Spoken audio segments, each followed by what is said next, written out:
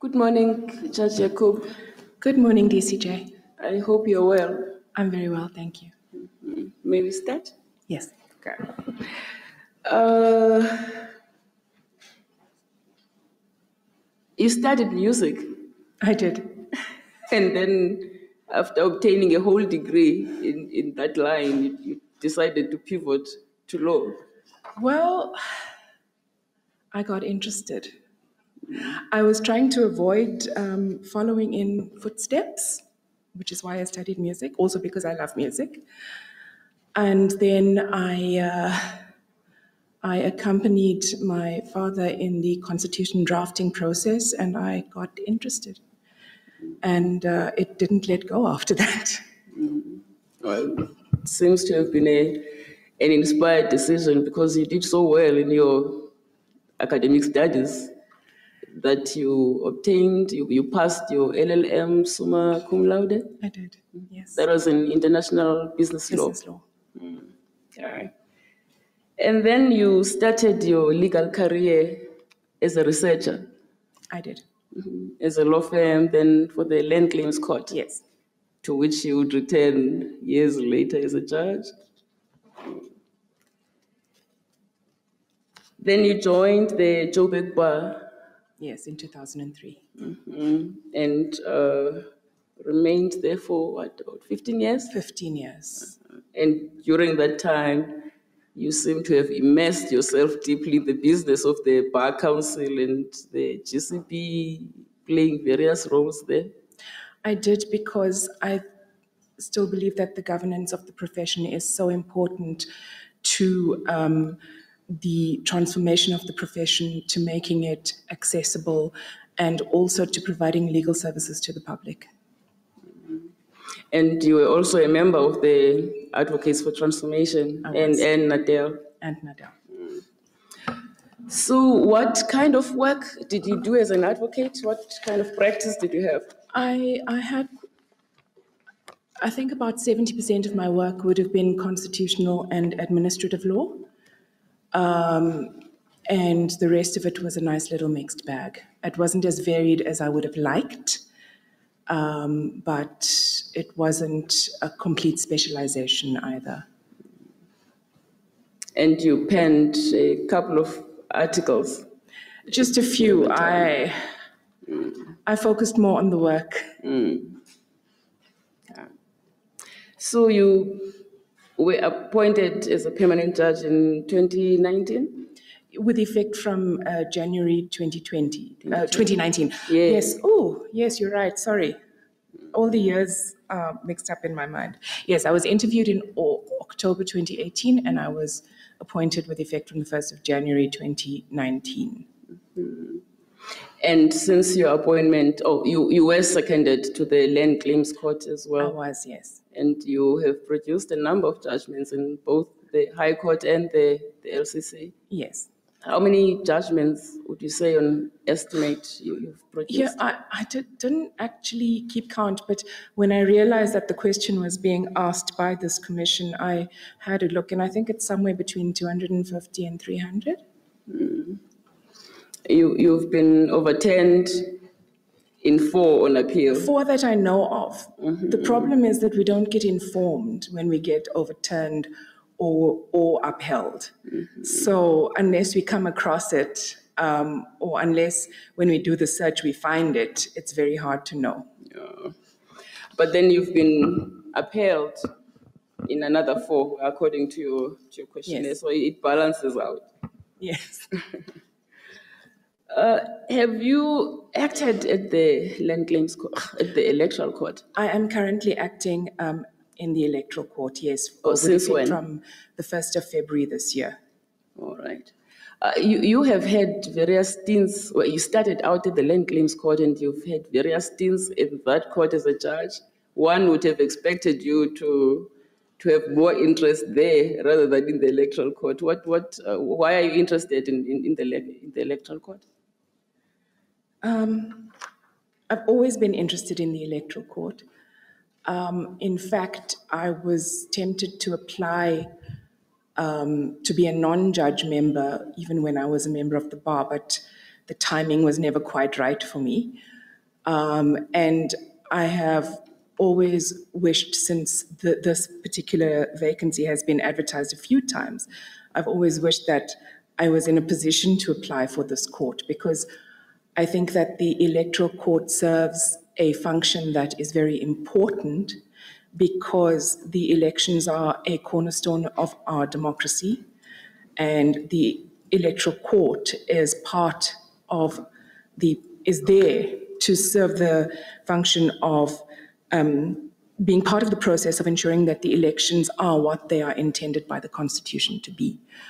Um, and that's why i am interested in it Uh, in, in your short time in, in that court, have you had an opportunity to sit in any matters? I have. I've sat, well, I've, I've participated in three matters.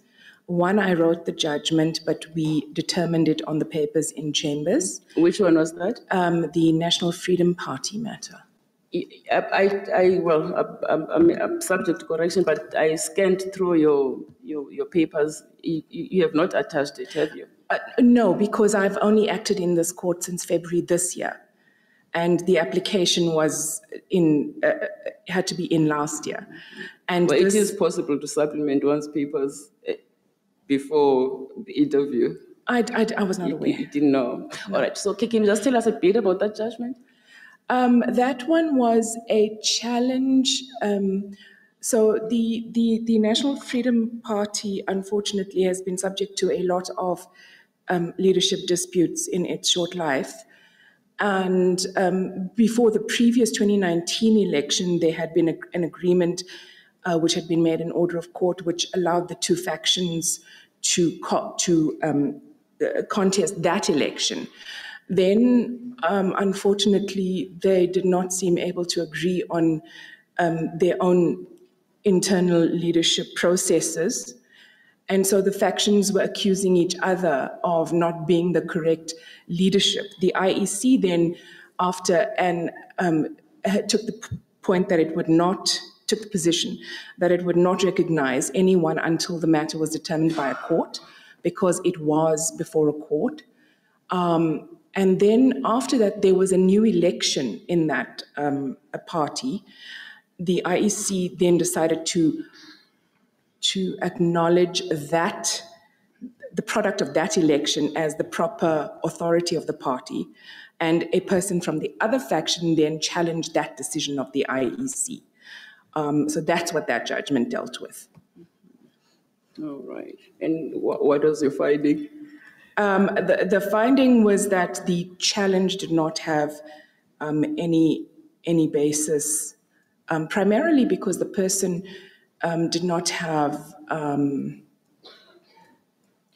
They brought the application as the NFP, but it was clear that they were not do, they didn't have the force of either faction. Um, but also because there was no merit in it. Um, uh, it, it, it was a question of uh, um, what was the effect of an application for leave to appeal. They had appealed a, ju- a judgment setting the, aside the election um, of that that fa- faction, um, and they claimed that because they had they were they, they were appealing it, that it meant that they had to be recognized. But uh, we found that all that the noting of the appeal did was restore the status quo ante, which was where the IEC said we're not going to recognize anyone until a court determines it. You mentioned two other cases. Can you tell us about those? The sorry, I didn't hear. You mentioned two other cases. Two other you say you cases that I sat in. One was, um, I think it was two weeks ago, the, the application um, by the Democratic Alliance against uh, uh, the IEC to allow um, voting, international voting at consulates headed by honorary consuls. Um, and the other one was the one which was heard on Monday, which dealt with the inclusion of the former president on a candidate list. Uh, I understand that only an order has been. In both of those, um, the reasons have The not reasons yet will been follow. provided because we thought it was um, important we agreed on the order and we thought it was important to provide the order urgently um, um, because the reasons are not quite ready. Well, I can tell you that the country is waiting with bated breath for those reasons. Yes. Uh, speaking about agency, the electoral court, as you would know, you, you would have experienced by now, is a high pressure court, especially you know, during election periods, and you're expected to hand down your decisions super quickly. Now, I'm a bit worried by a declaration you yourself have made in your questionnaire that uh, you you you had uh, trouble delivering your judgments uh, timeously. Have you managed to sort that out? I've sorted that out, and also the trouble was never with urgent judgments. Urgent judgments were always handed down urgently. It's the ones where I had to put them aside to think about them um, that got me into trouble. But I have sorted out that. I've, I've, I've managed to um, figure out how one balances one's life as a judge in order to deal Well, you did say that that was uh, during your early stages as a judge. So you found your feet now. I have now found my feet, thank you. Okay. Um, you, you also disclosed a, a chronic health condition, and I, I, I raised this as I did with, uh, with, with, with, with the previous uh, candidate, because wellness is, is uh, wellness in the judiciary is just not at, you know, given the, the, the, the seriousness, it is actually neglected. And we have seen that uh, that has serious consequences for judges and service delivery because judging is grueling work, and uh, if if if you have niggles, then that that affects uh, your work performance.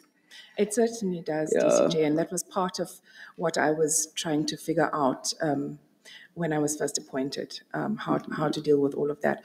I, I now exercise regularly. There, there are, um, it, it, it's not, it's not um, negotiable. This is the time when I go for my walk. Um, this is the time when I do those things so that I can function um, at my best and deliver the best um, to um, whoever needs it. All right. Uh, all right, I'll hand over to Justice Zondi to put questions to you if there's any. Thank you very much, DCJ. Uh, Hi, um, morning, Judge Yacoob. Good morning, Justice. You joined us in February 2000, this year. Yes, That, that is after you had indicated um, your interest in applying for the yes, vacant position. yes, And I see that ever since you have participated in a number of matters that we had at the, at the electoral court, more especially those that are dealing with uh, nomination of candidates. yes.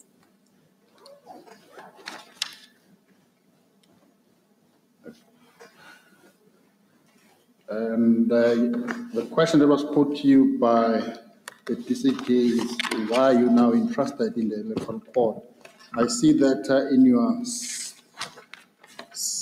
in your questionnaire, paginated page 12, um, paragraph 20, the last paragraph 20, you express the similar sentiment that you have always been particularly interested in the mechanics of how elections take place and how election disputes are adjudicated.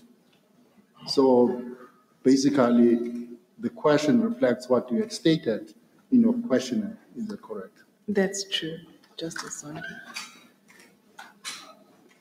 The,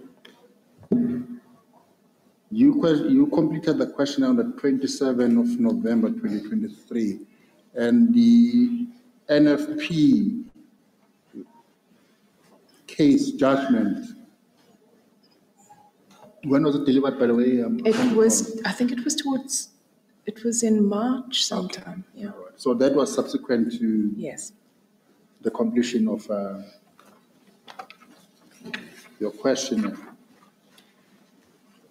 I see that we have also produced some papers which were published in a reputable publication, is that correct? Yes, but very few. Um, that's never been my my focus, and I don't pretend to be an academic person, unfortunately. Thank you. All right, I've got no further questions. Thank you, DCJ. Do you have any questions for the candidate co- colleagues? Commissioner Klaber? Uh, Thank you very much, uh, DCJ. Uh, Good morning, Judge. Good morning, Commissioner. Thank you. Um, Under what circumstances does a member of parliament cease to be eligible uh, to serve as a member? Cease to be eligible. Correct.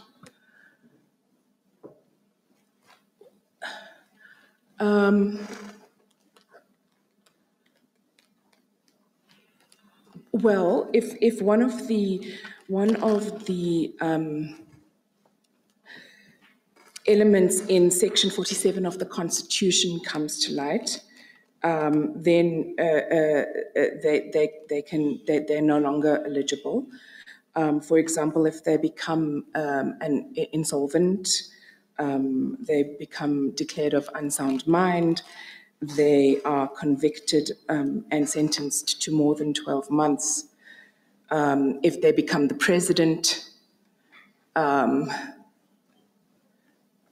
uh, I, I, I can't think of more, more right now. For a councillor, I'm now taking you to a municipal level. Yes. Under what circumstances does an independent, a person who stood as an independent in one, uh, lose uh, his or her membership uh, uh, of council? Commissioner, I would have to look in the Local Government Municipal Elections um, Act. Um, uh, so I haven't looked at that particular thing. Um, I can look it up um, now if you wish. Um, but I, I, I would imagine if it, uh, that, that similar provisions would provide, uh, would, would apply, because if someone becomes declared of unsound mind while they are um, a sitting councillor, they presumably would also be um, uh, become uh, not eligible. But I will, I will, I will look that up in the act. Maybe I can spare her of that question if you ask, uh, allow me, CJ, to ask another question. Yeah. I may just point out that it is not an open exam exercise.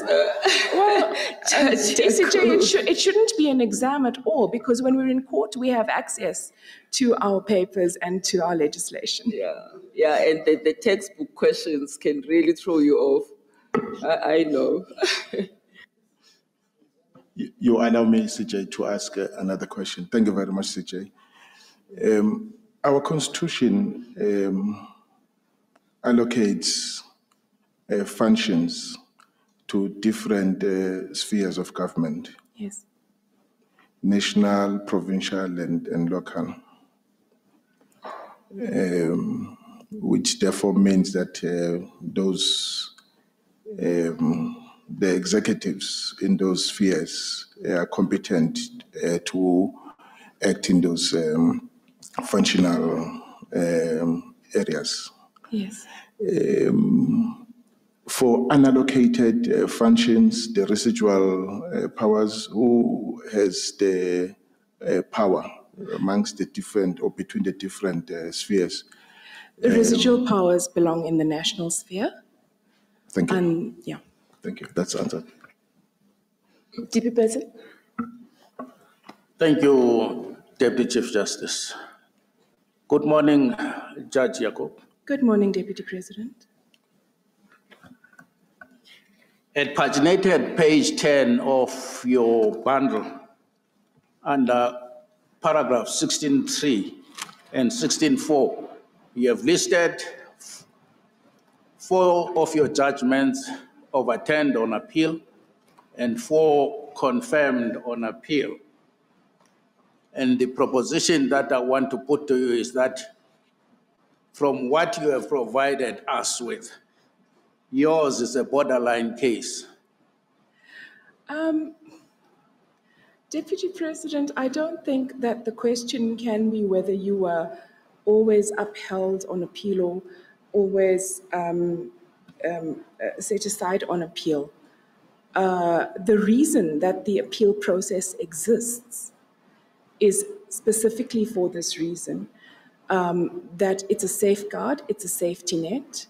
A puny judge sits as a single judge and is only human and can make mistakes and must learn from those mistakes. Um, I certainly don't think it should be a balancing exercise of you were right in four of these and you were wrong in four of these, so it's a borderline case. I've written, I've, I've handed down many, many judgments. Most of them have not even gone on appeal. Um, so as, as far, I, I- I don't think it would be fair to, to use the words a borderline case at all. But there would be cause for concern if most of your judgments are upset on, on appeal. Um, Deputy President, I think it depends, because if all my judgments are upset on appeal, yes, there would be cause for concern. Thank you. Um, but I, I don't think that the fact that there are judgments upset on appeal is in itself cause for concern, because otherwise we're saying there's no reason for the appeal process whatsoever. Just give me a moment, please.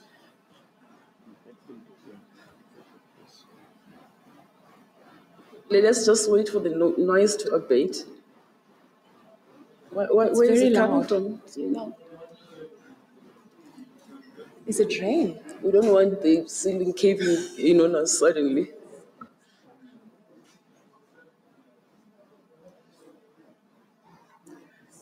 Oh, well, we can't switch the rain off. No.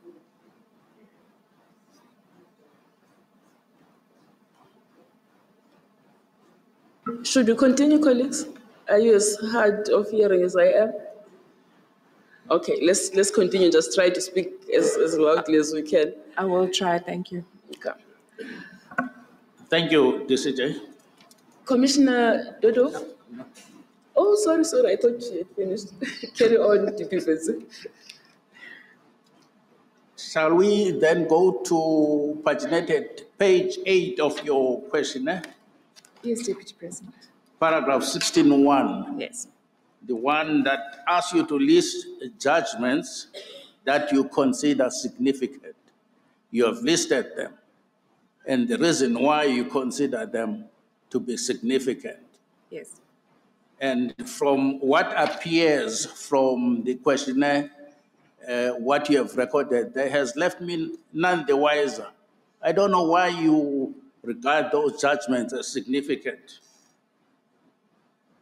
I apologize, Deputy President. I put in what I thought was important about those judgments, and if that did not come through, then clearly I did not um, explain well enough. I'm quite happy to explain um, now if, if, if you wish. No, you didn't even begin to deal with that issue and state why you consider them to be significant, what principle was propounded, what principle was explained, what principle was overturned, for example.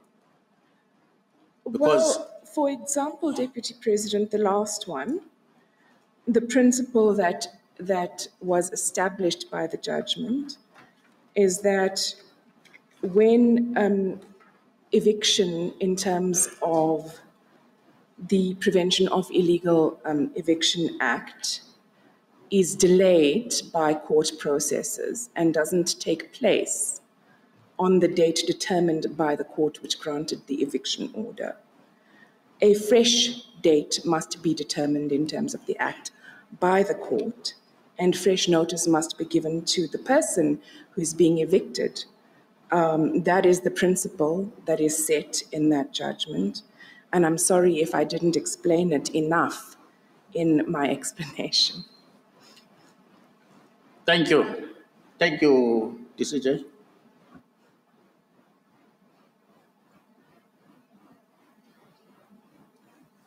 Well, luckily for you, the General Council of the Bar has given us uh, snippets of, of some of your top judgments, and uh, they gave you a, a glowing report on those. So we, we, we, we are assured that you, you, you can produce good judgments. Thank you, uh, Deputy Uh, Chief Justice. Commissioner Dodov? Uh, Thank you once more, uh, DCJ. Good morning. Good morning, Commissioner. I want to, in the first instance, follow up the question that uh, DCJ posed to you regarding your reserve judgments and the length Yes. of delivering your judgments. At the moment, to be precise, how many outstanding uh, reserve judgments do you have? At, at the moment, three. Um, and all of them were reserved in the last couple of weeks. Okay. And, uh, and for how long? Two or three weeks. No, I mean, for how long have they been reserved? Two or three weeks. The, the, from, from last term, just, just a couple of weeks, they've been reserved. I don't, am I not answering the question? I don't hear this, this. Sorry, a few weeks. No, I mean, the last time that you, I, I'm told, because now I'm, I'm a novice here, legal novice, but I'm told that at least three months is acceptable Yes. to deliver judgment. Yes, And I- your reserve judgments have been reserved for how long? Oh, Is that you four mean- months, six months, a year? Currently or other ones All of them All that of are them. reserved currently, that are outstanding, that are currently outstanding? yes. Two or three weeks, I don't have anything over three months. You don't? No. Okay, thank you very much then, uh, DCJ. The next question, I want to ask you about the Electoral Act, which I consider to be the Bible of the Electoral Court, your, your court. Yes.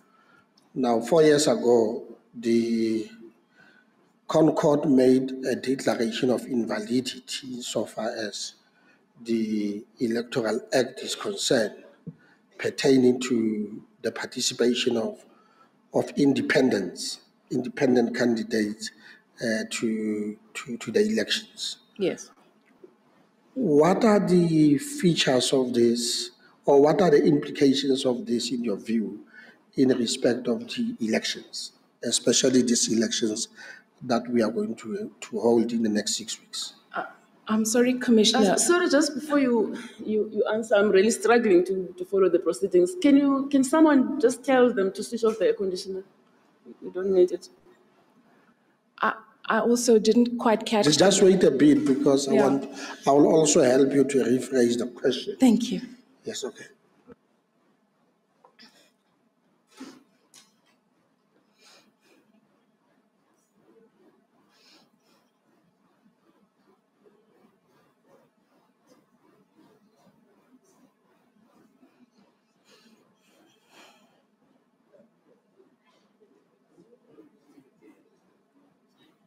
Well, I'm, I'm told it's centrally operated, so, and someone has been phoned to switch it off. It may take a bit of time.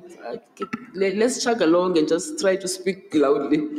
And I will also try my best to, to be slow so that you hear me well.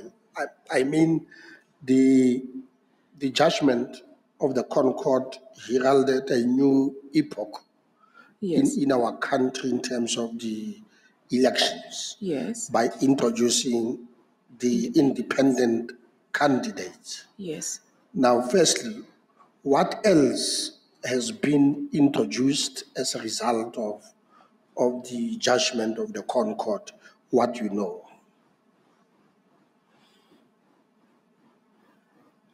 Um,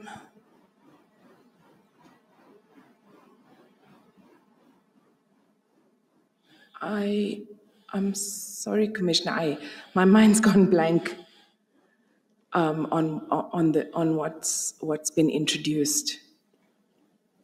Let me try to simplify it. I, I was dealing with this matter for the last four years, and I'm the one who requested extension because of the complexity of the, of the, of the, of the process itself at, in Parliament.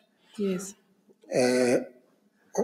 Advocate Nkwetobi has talked about compensatory seats Yes. as a result of that. Yes. What do you understand with that?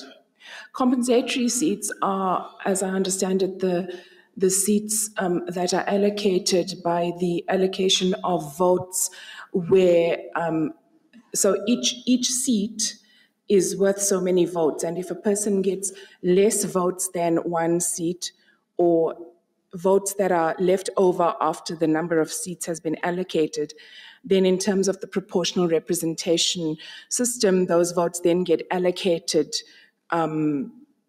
to um, proportionally to the parties who have got the votes um, so that people get extra seats. And um, the Constitutional Court found um, that that part of the um, the act, which doesn't really cater for independents, um, still to be constitutional. We, yes, it's okay.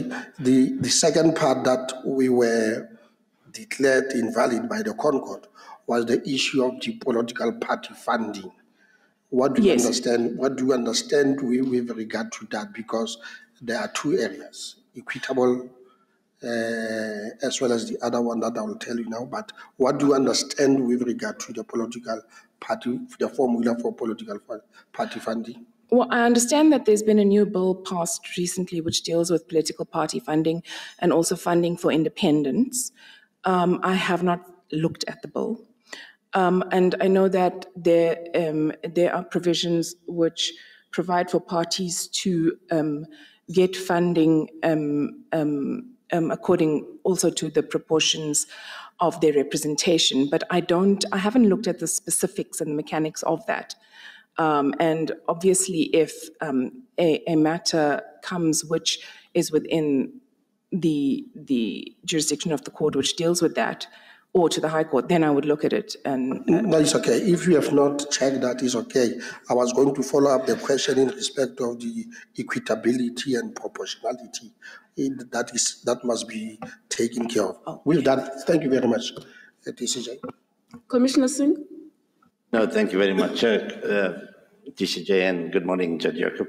Uh, Commissioner Dodovo has made it easier for me in, in terms of the question uh, relating to the, are you aware of the Electoral Matters Amendment Bill? I think you, you referred to it, that was passed by Yes. the two houses yes, uh, recently and not signed into law as yet by the president. yes, Uh, and are you aware that uh, there are a number of NGOs, about 21 of them, and uh, 10 of the 13 political parties that have written to the president uh, asking him not to sign certain sections of the bill into law because some of them, some of the amendments that were proposed in the bill and passed by the two houses are substantive in nature and not consequential to the new nation judgment. okay. Is there anything that you're aware of in that regard? I was not aware of that, no. No, then I,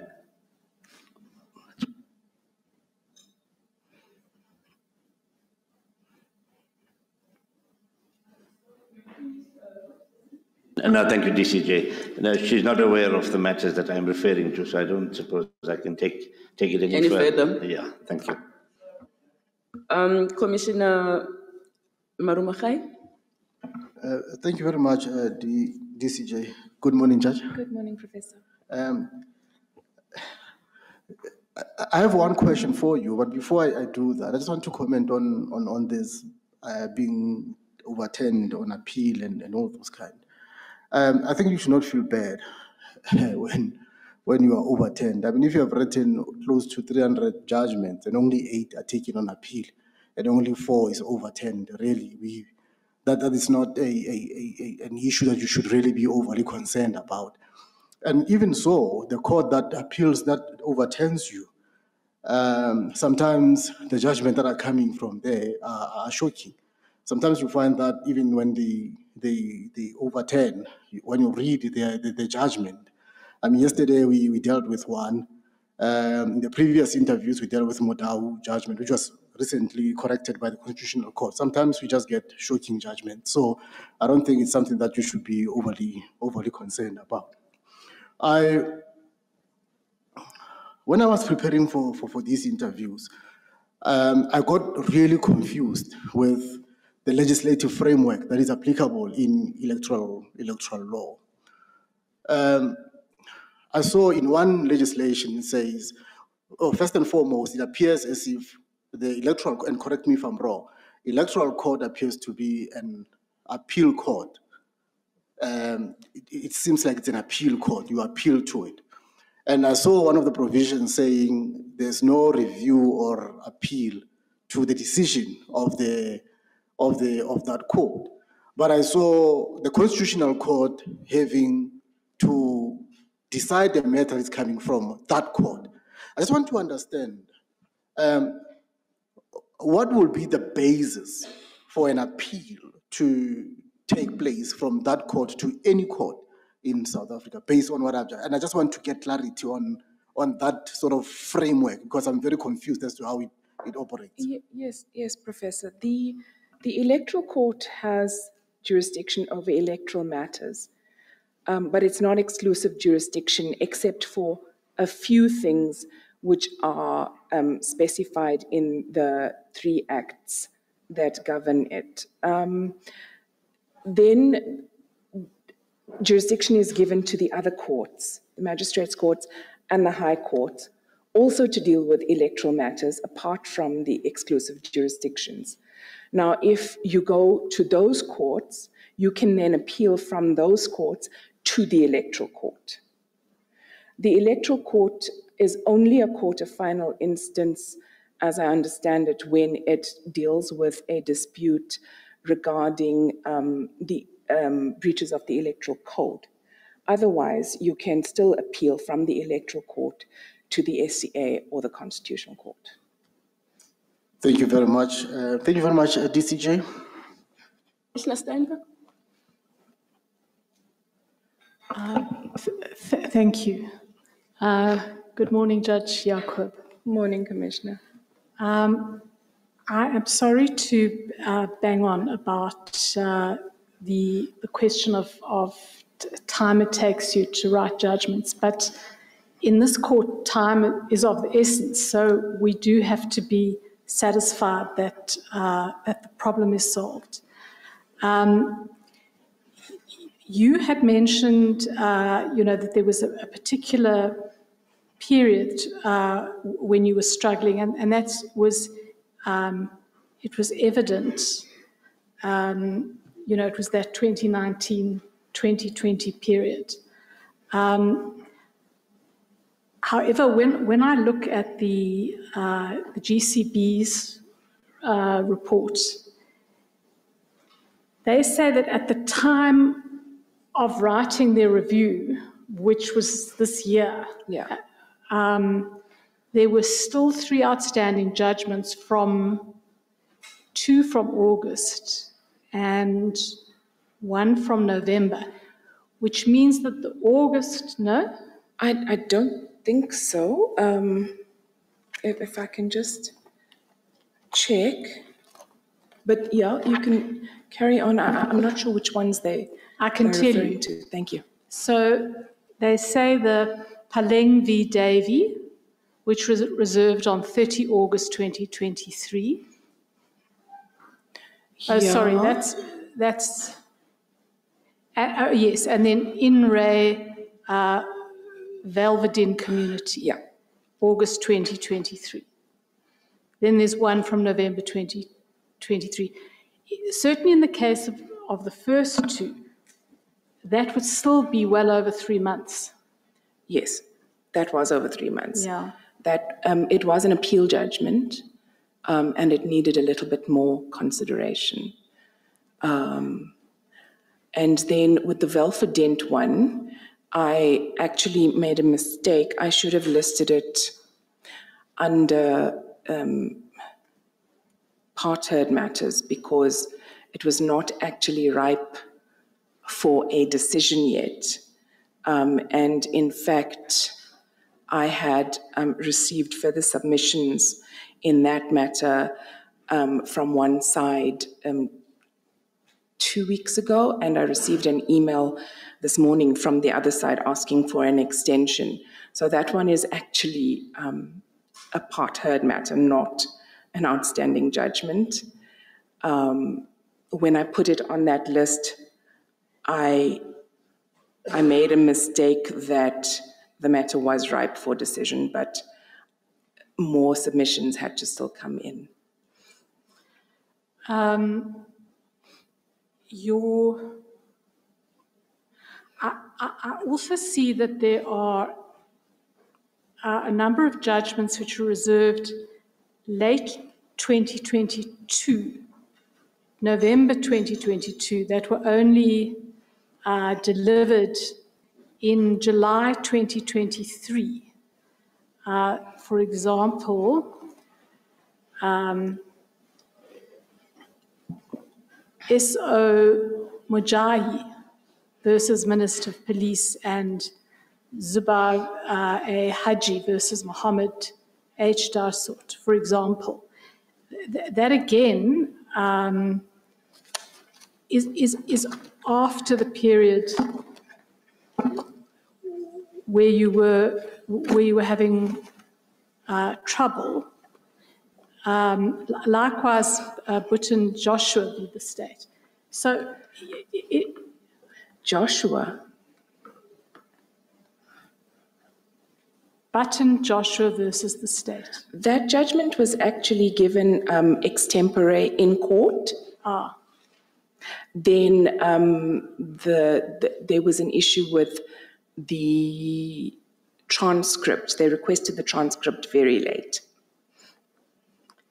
Um, and, and the other two that I mentioned that were in November 2022 and only delivered in July. I'm I'm trying to. So what what was the first one? Mojai. S.O. Mojai. Was that one of the? On on which page do I find it? Uh, this is, this is um, not in your,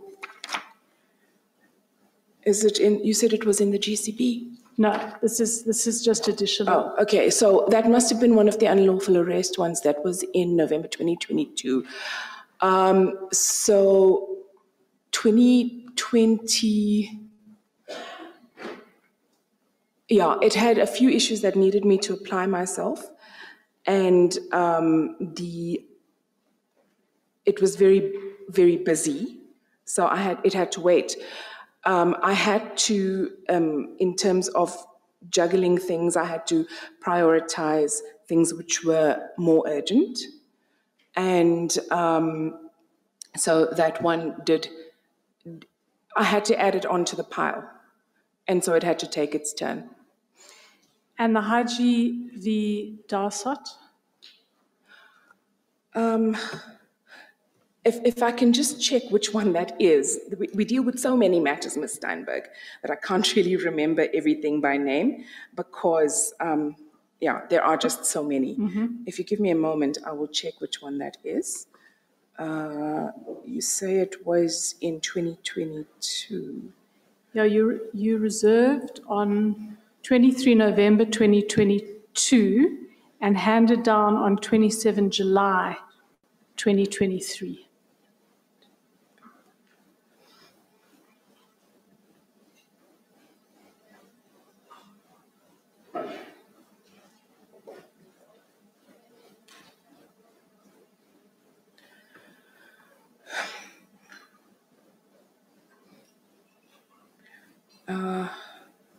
Sorry, my computer's taking a moment to respond to me.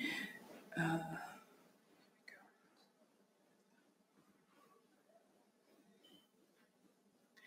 Um, that's actually incorrect, Commissioner. The judgment was handed down on the 27th of, um, oh, sorry, yes, you're right. 27th of July. Um, it was the date I signed it, but the judgment was handed down on the 23rd of November. It was an extempore judgment, and the transcript came to me late. So the judgment was actually handed down on the 23rd of November. It was heard on the 22nd of November, and I handed the judgment down extempore on the next day. Okay, so it, it's really just the one that you said you'd put on the pile. Uh, Yeah, and, and that's the problem is once you start putting things on the pile for consideration, um, you have to do them in order. And if you've got, um, yeah, and there, isn't time in the High Court in Gauteng, there isn't time um, to, to, to fix a backlog until you have a break. And I didn't have a break until the second term last year. And when I did, I fixed the backlog. It's, it's a concern I raise because I, I, I really do appreciate the extraordinary pressure that the, the, the Gauteng judges work under. And, you know, I salute you all for, for doing it. Um, but all the judges are under the similar pressure. Yes. And some meet the deadlines and some don't. And we, we, we just have to be sure in the case of the electoral court that, that, that these, the, the judgments have to come out fast and furiously. Um, or the, the, the, the, the whole point. Yes, I Justice understand works. that. Absolutely agree with you. And you're now confident that, that you're able to do that. yes. Okay, thank you. DCJ, I just want to follow up on this line by Commissioner Steinberg.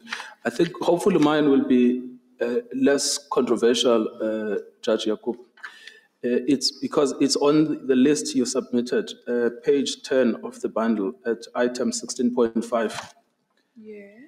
Now, if you look at those judgments, there are eight of them uh, dating to the 24th of July 2023 to the 9th of November 2023. And then if you look at page 12, that's the date you signed the form, which is the 27th of November Yes. 2023. Now, does this mean, as at the 27th of November 2023, those judgments were outstanding according to those dates? Yes, that is correct. All right, thank you.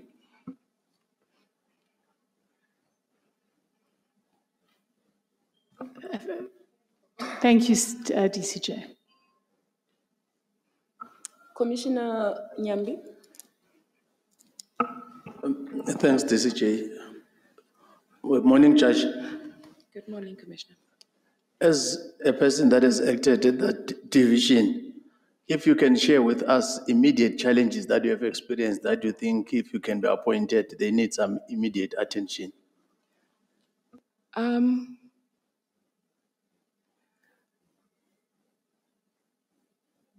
I think one of the challenges is the question of where the court sits.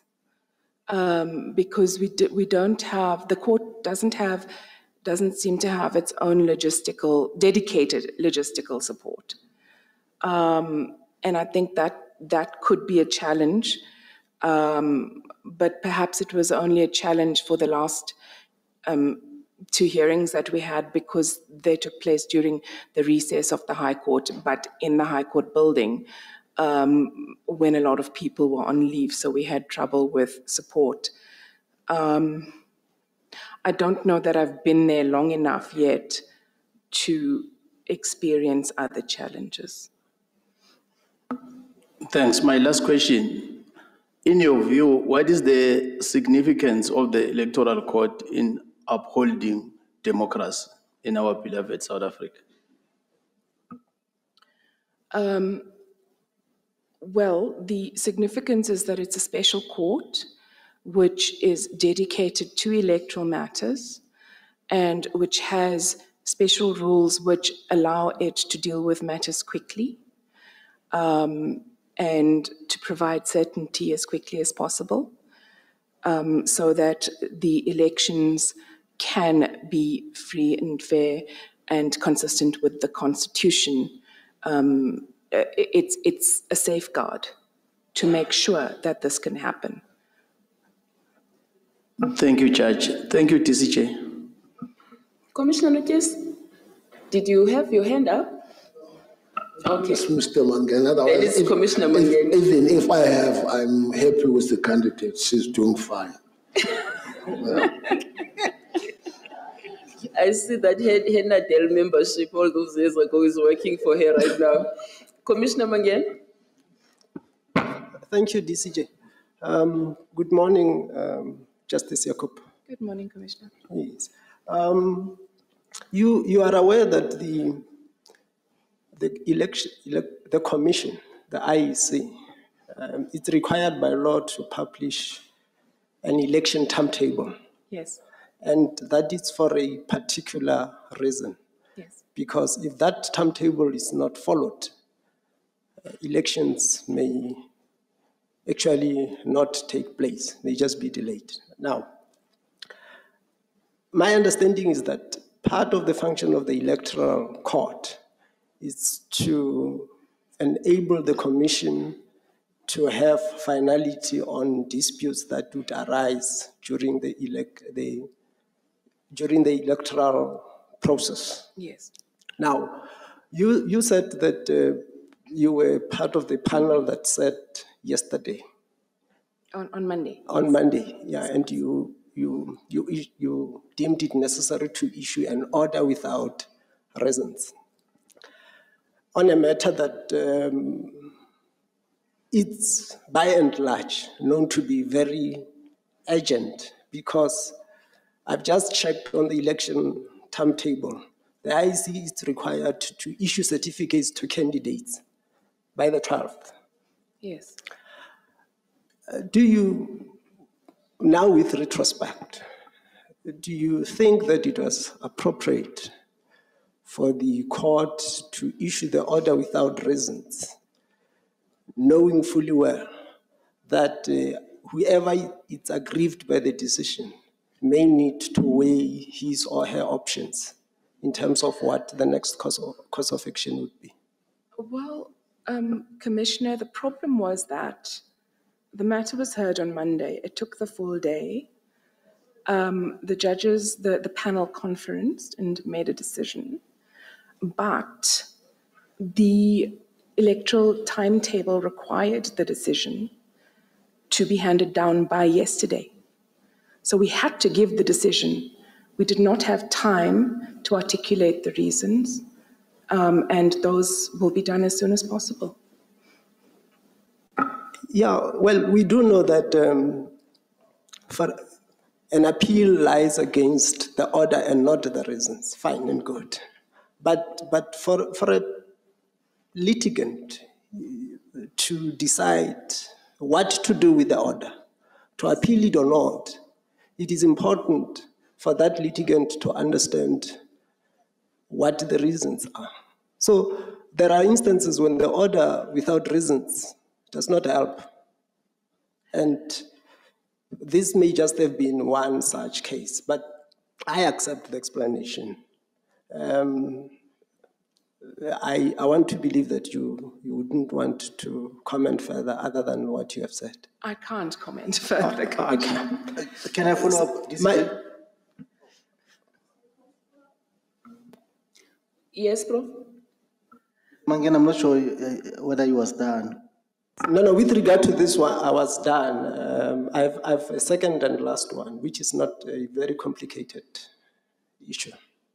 Can I finish May- it? Maybe let's let's exhaust your first one, then move on to your. to Yes, your my, mine is more of a comment. I think um, uh, I would imagine that under the circumstances that we are dealing with and the period within which we are, we, we are at, it will be more prudent to issue out an order and make sure that the parties have certainty. Then the judges will, will deliberate on how then the reasons will come so that the process can, can, can move forward. I think the order cannot be delayed uh, because that's the most important thing. I, that, that- I'm not sure if you have comments on that, but I That was the motivation of the panel as well, um, in addition to complying with the electoral time date. Are you answering for the candidate, uh, Professor Marumoagae? Not, I'm, I'm, I'm just commenting on the deliberation. Okay. Pro- Proceed, Commissioner Magid. Thank you, DCJ. Um, my, my second and last one. Um, it is my understanding that uh, the, the court also deals with um, irregularities that um, arises uh, on the election day. Yes. And um, it is a requirement uh, um, for the elections that a voter should produce an identity document to the presiding officer or uh, presiding or yeah presiding officer on the day of the elections. To your knowledge, does the IEC accept um electronic identification? I don't believe so. I, I believe that you have to produce your physical um, document, your either your card or your green barcode. Is that is that is that the position, or that's what you think should be the position? No, well, the last time I voted, that was the position, and I'm not aware that it has changed. Yes, but um, um, if if it may well be that this matter has not arisen as an irregularity, but the same way that people le- um, use their phones as a means of identification when they are at the airports or they're driving, wouldn't you think that the time may have come for the IEC to consider electronic form of identification? Well, it may have, but as far as I know, they have not. And of course, they would have to make sure that they're able to verify it properly. Um, and I'm, uh, I mean, I'm harking back now. The the Constitutional Court um, before the second democratic election um, gave a judgment about why it was appropriate for um, the voters' roll to be limited to those who had the green barcoded um, ID documents, because previously in the first election you could use anything. Um, and they said it had to be because you could verify and you and and if you didn't have the barcode it wasn't on the right system and so on and so forth so if they do update it they're going to have to make sure that it's whatever new ways they use it's going to have to be properly verifiable to avoid um, voter fraud and so on Thank you, Justice. Thank you, DCJ. Commissioner Makwanis. Thank you, uh, DCJ. Uh, good morning, Judge Yacoob. good morning commissioner Uh, three quick questions. The first one, how many times are parties allowed to replenish their lists per year? To replenish their list per year i i'm afraid i don't remember Okay, thank you. Um, when is the term, in fact, uh, on what date will the current cohorts of members of the National Assembly cease to, to be members of the National Assembly? Um, the Constitution provides that the National Assembly ends the day before the elections, so it would be the 28th of May. The term ends on the 7th of May, but then the Constitution provides for them to be extended until the day before the elections are held. Thank you. Then the last one, um, once a person has been appointed deputy president, does he or she ceases to be a member of the National Assembly? I think it is only the president who ceases to be a member of the National Assembly. Thank you very much. Um, do we have any questions from the virtual platform? No, thank you, Deputy All right, thank. No, thank you. Okay. Do you have any questions for us? I have no questions. Thank you, DCJ. Well, in that case, uh, this is the end of your interview. Thanks so much for making yourself available Thank you very much. and you're excused. Thank you.